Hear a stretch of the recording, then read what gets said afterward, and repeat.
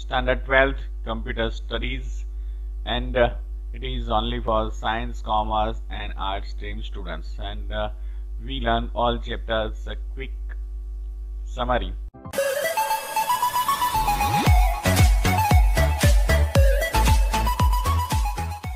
Well standard we have total 13 chapters. Right so we start it with the first chapter. That chapter is uh, creating HTML forms using KompoZer. And the first point it is HTML forms. So forms are used to accept the data accept the data over the web.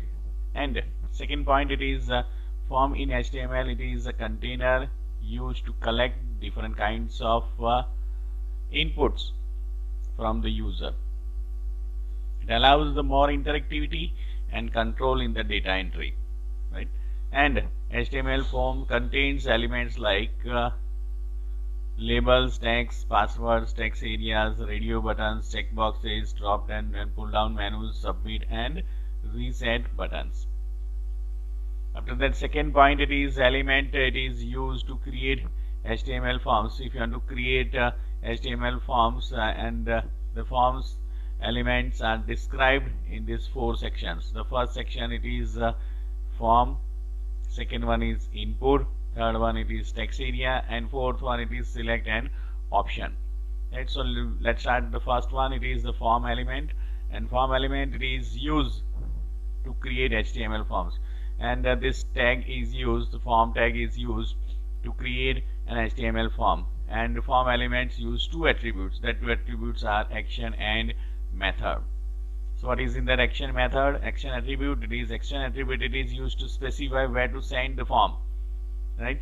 Data when the form is submitted and it takes the file name as a value right? What is in that method attribute? It is method attribute specify hypertext transfer protocol method. It is used to uh, use when sending the data right? So it takes two values right? So these are the two values the get and post so what is in that get method?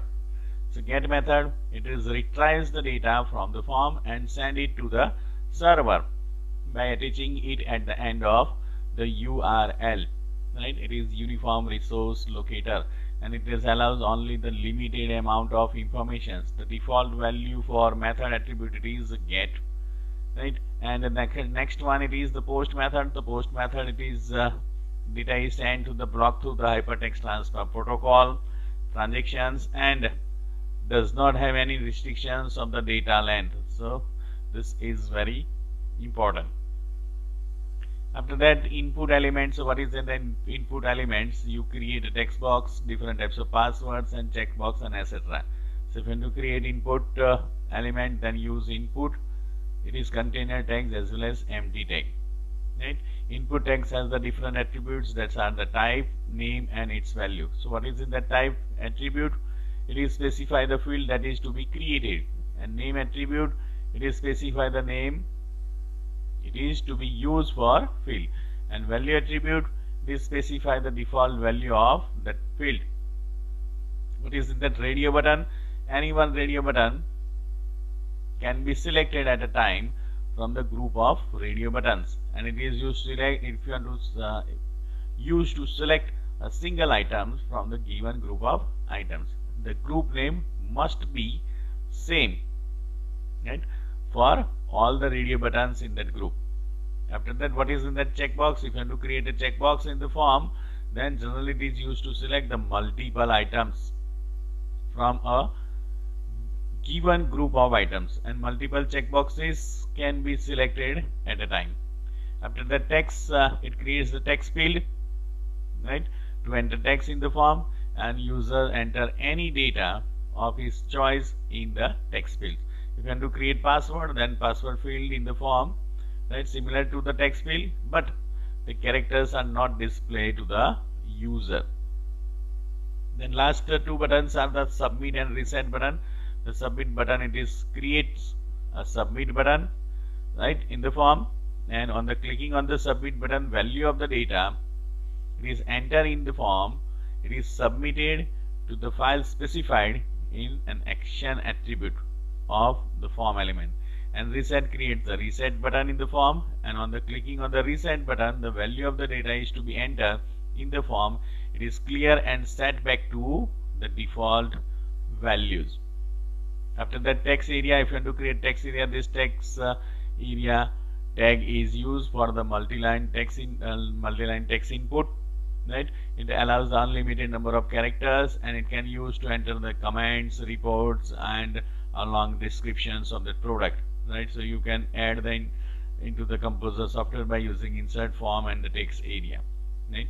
After that size of the text area it is specified by using the rows and columns attribute that if you want to create a drop down menu use this tag. That is select tag. It is used to create a drop down list or the pull down list right?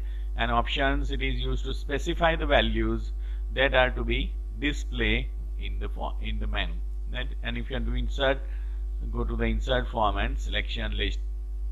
After that the open source IDE IDE means integrated development environment and software applications that provides the complete facilities uh, to the programmer to develop the different types of softwares and it provides the graphical user interface text editors different types of compilers interpreters and debuggers right? And these are the some examples of the open source IDE that are the KompoZer eclipse jbuilders and netbeans.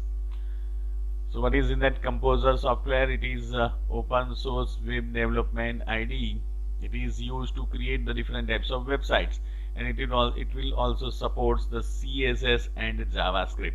And you can download it from the site. Site name is kompozer.net right?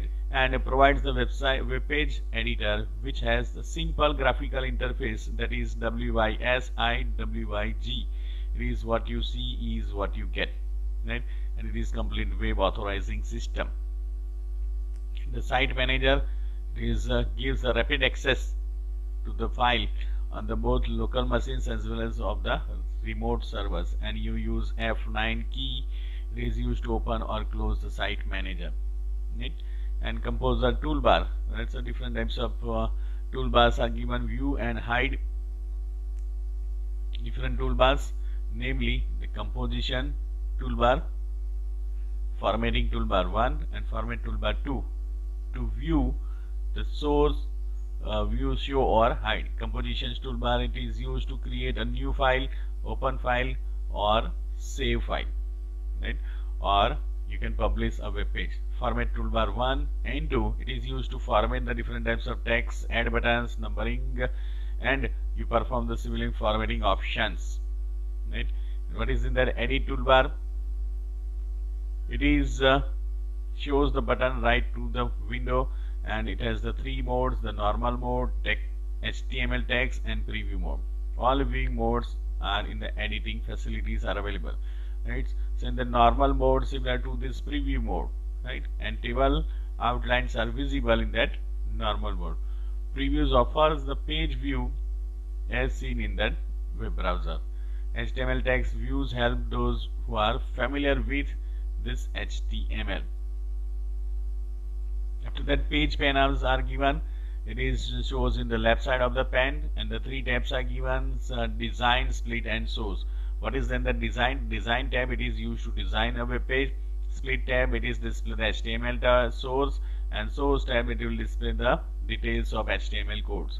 And it is uh, it helps in editing the source codes. After that in the status bar bottom of that window and this is the KompoZer. Layout you can download it from the site kompozer.net and these are the different menu options are given right? Refer this menu options right? Uh, if you want to add toolbars or open recent use pages define a new form. If you want to insert labels insert text input text fields creating radio buttons creating checkbox creating text areas creating pull down menu or if you want to give background right?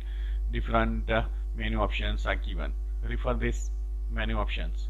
Right so this is the end of the chapter number one summary